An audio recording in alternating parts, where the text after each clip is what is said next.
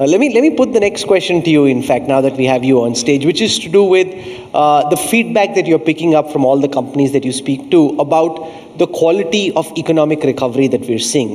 We're heading into the festive season. We're in the middle of the festive season, coming on the back of the pandemic. Uh, what is it that you're picking up from all the India Inc. companies that you're speaking to about how fast we are recovering and the quality of this recovery? Yeah. So we just had uh, the CII National Council a few days back and spoke to a number of CEOs. I think the feedback is that overall things are positive. The feedback from the CEOs are they expecting growth at 8.5 to 9.5 percent. Uh, CII's own position is 9.5 percent growth. Uh, there are issues related to rising input costs, issues related to containers, availability of containers, etc. Private sector investment is picking up, but not as much as uh, everyone would have expected.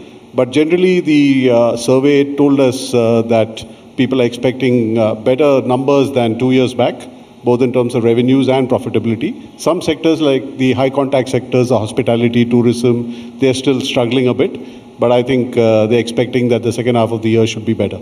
So overall, it's a positive narrative which is uh, coming through. Some concerns on input costs, some concerns on inflation. Uh, MSME sector struggling a bit, and the services sector a bit more. Yeah. And and not that you're uh, involved with uh, the Air India purchase directly, but uh, the fact that Air India is coming back to the house of Tatas is something which, uh, how do you, as one of the top faces of the Tata groups at this moment, uh, look at this big news that's just been put out? I think it's been a matter of great pride for everyone uh, within the group, outside the group. I think the feedback we've got from multiple people has been one of great pride and joy. And looking forward to uh, keep the Air India flag flying high.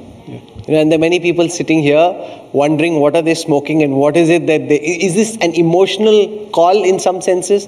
That this is something that you just wanted for various issues of legacy, history, uh, to get done and then dekhi jaogi we'll figure out how to make it happen but right now let's go out and get it you know like like you said i'm not directly involved in that uh, uh, acquisition but i think as a group we've uh, grown up hearing a lot of stories about how JRD used to run Air India, and I think uh, it was an example of uh, pursuit of excellence. And uh, if we had a world-class airline, one of the global best, many years back, why not now?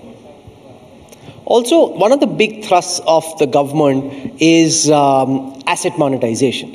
And it's central to the government's plans of financing a lot of what it wants to get done.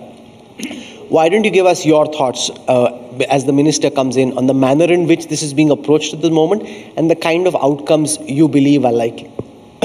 You know, I think it's a very good step because uh, it helps you monetize or unlock value from assets without having to lose the ownership of assets. So I think uh, it's a great way of driving more efficiency into the system and for private sector great opportunities to unlock value from assets which have already been created.